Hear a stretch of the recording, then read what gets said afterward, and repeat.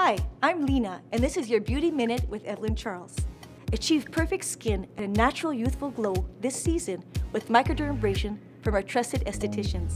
Teresa from our city center location is demonstrating the microdermabrasion service today on our model Lagita.